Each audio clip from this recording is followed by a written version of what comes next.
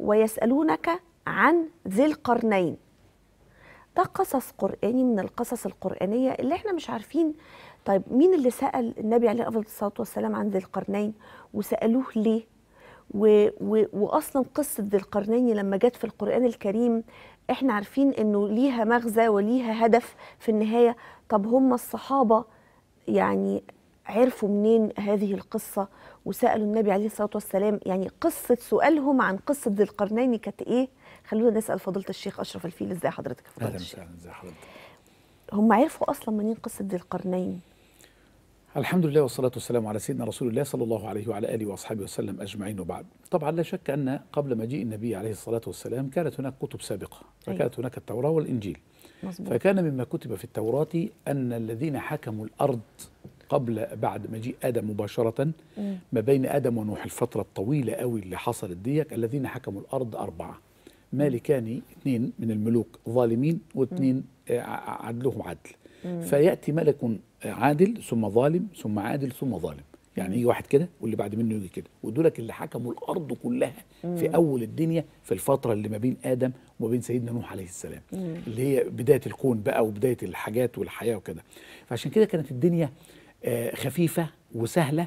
والكرة الأرضية الناس اللي مخلوقين فيها في الزمن ده كان عندهم آه، يعني خصائص يقدروا يتحركوا بسرعة من مكان لمكان لدرجة إن القصة اللي معانا ال- ال- الراجل مشي من مشرق ال- ال- الشمس إلى مغرب الشمس. يعني الشمس بتشرق فين؟ في الشرق راح الشرق. الشمس بتش بتغرب فين؟ في الغرب راح الغرب. يعني حضرتك متخيلة ال- ال- ال- الموقف عامل إزاي؟ صعب جدا. طيب هنا بقى اليهود كانت في كتبهم هذا الكلام. فلما كان في كتبهم هذا الكلام وكان كثير من الصحابة قد تأثر بهذه القراءات. فبعض اليهود سألوهم قالوا طب اسألوه هو ذي القرنين ده قصته إيه؟ هنشوفه بقى يعرف ولا ما يعرفش. يبقى هنا ويسألونك عن ذي القرنين قل قل سأتلو سأتلو عليكم منه ذكرى. منه. خلي بالك من كلمة منه. يعني مش كل قصة مش كل. قصته. أنا مش هحكي لكم كل حاجة عنه. فالقرآن الكريم حب يعلمنا ويعلم الصحابة رضوان الله عليهم إن حتى القرآن لما بيتكلم في القصص له طريقة بيجيب الحكمة من ذكر القصص والدروس المستفادة منها. ملوش علاقة بقى باسمه ولا بشكله ولا بكونه إيه ولا منين ولا راح فين ولا عمل إيه ولا ولا حتى جاب لنا الأسباب التي اتخذها ذا القرنين. قال له ثم أتبع سببا.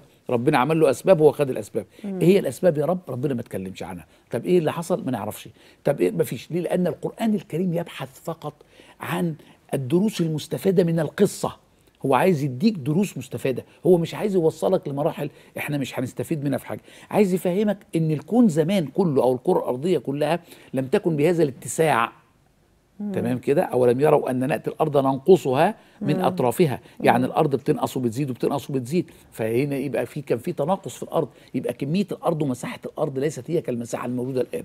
فعشان كده قال إيه بقى؟ ويسألونك عن ذي القرنين قل سأتلو عليكم منه ذكرى. ذكرى.